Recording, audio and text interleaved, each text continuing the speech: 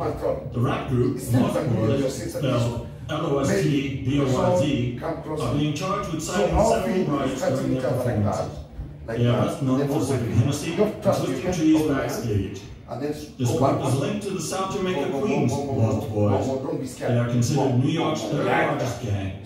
Sources say that government officials have big problems with the way the group There lives. So like that. And then we sit down and then we wake up. So, because I'm more heavier than you,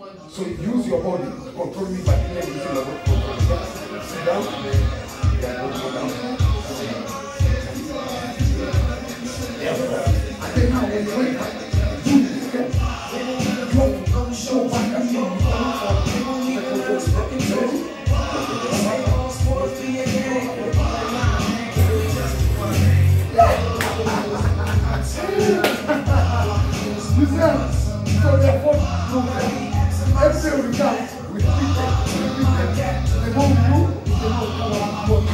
Four, one man.